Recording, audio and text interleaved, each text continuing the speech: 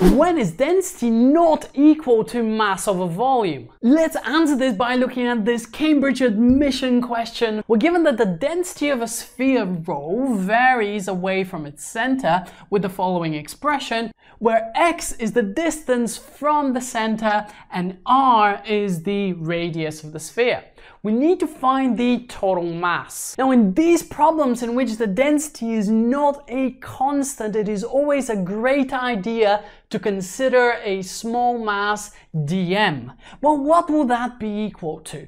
Generally, it's equal to density times volume, but in this case, it will be equal to the density multiplied by the infinitesimal volume. So this will be given by r naught 1 minus x over 2r. Now the infinitesimal volume, you can think of it as dv, is actually equal to a tiny surface area, which I'm going to call 4 pi x squared. That's also given in the question and it's generally a great idea to use any expressions that are given to us. And then we're going to be multiplying that by an infinitesimal length, which is dx. And now to find the mass, I can use one of my favorite things ever, and that is to integrate. So I'm going to say that the total mass m is the integral of this entire expression, let's say from 0 to position r.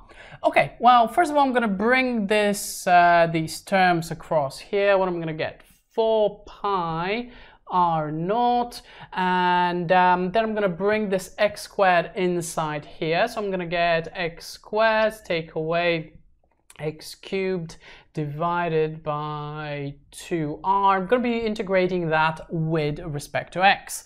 So let's integrate. My total mass will be 4 pi r naught. This thing is a constant, so I can just take that outside of the integral sign.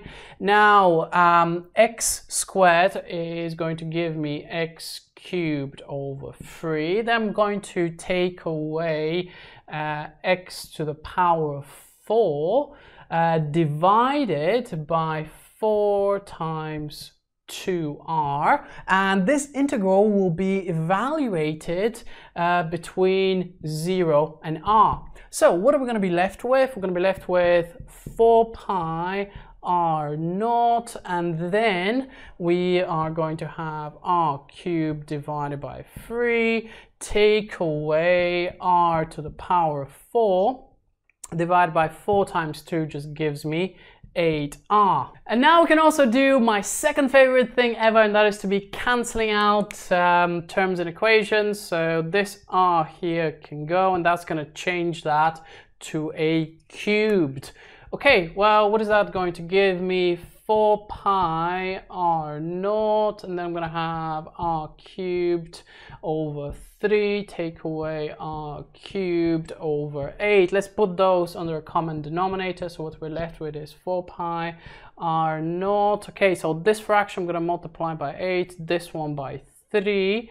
Uh, so 8 here and then 3 here with some multiplication signs. So what I'm going to get is 5r cubed divided by 8 times 3, which is 24. Okay, the 4 is going to cancel with a 24, leaving me a 6.